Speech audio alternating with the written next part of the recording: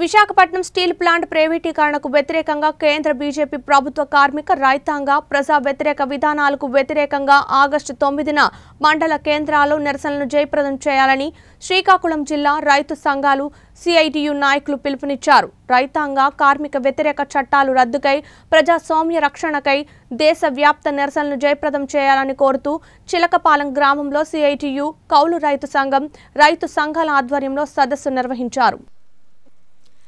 ఈ సందర్భంగా వారు మాట్లాడుతూ మోడీ ప్రభుత్వ రైతు కార్మిక వ్యతిరేక విధానాలను నిరసిస్తూ ఆగస్టు తొమ్మిదిన మండల జిల్లా కేంద్రాలలో జరుగు ఆందోళన కార్యక్రమాలలో కార్మికులు రైతులు ఉపాధి హామీ కూలీలు అధిక సంఖ్యలో పాల్గొని జయప్రదం చేయాలని కోరారు.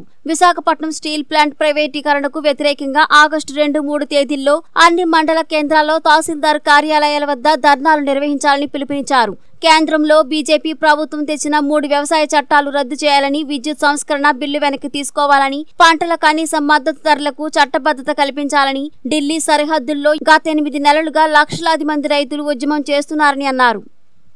నిరసిస్తూ ఈరోజు మొత్తం దేశవ్యాప్తంగా ఆగస్టు తొమ్మిదవ తేదీన అన్ని ప్రాంతాల్లో కూడా నిరసన ప్రదర్శన చేయాలని చెప్పి ఇప్పటికే సిఐటి రైతు సంఘం వ్యవసాయ కార్మిక సంఘం కౌలు రైతు సంఘంతో పాటు ఇతర ప్రజా సంఘాలు కలుపుకొని పోరాటానికి పిలుపునివ్వడం జరిగింది. అందులో భాగంగా ఈరోజు రౌండ్ టేబుల్ సమావేశం నిర్వహిస్తున్నాం.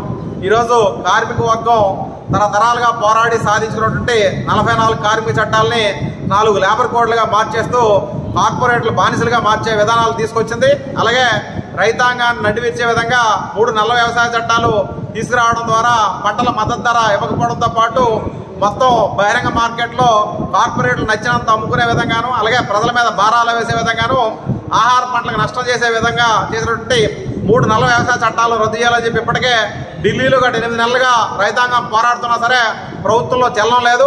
ఈ నేపథ్యంలోనే కార్మిక వర్గం పోరాడి సాధించినటువంటి సేవ్ విశాఖ పేరుతో ఈరోజు విశాఖ ఉక్కు ఆంధ్రులక్క అనే పేరుతో గత పోరాట ఫలితంగా ముప్పై రెండు ప్రాణ త్యాగాలతో అరవై నాలుగు గ్రామాల ప్రజలు ఇరవై ఐదు వేల ఎకరాలు భూమినిచ్చి త్యాగం చేసినటువంటి స్టీల్ ప్లాంట్ ఈరోజు దక్షిణ కొరియాకు సంబంధించిన పోస్కో కంపెనీకి కట్టబెట్టడానికి వ్యతిరేకంగా ఆగస్టు రెండు మూడు తేదీల్లో జిల్లా పార్లమెంట్ నిర్వహిస్తారు.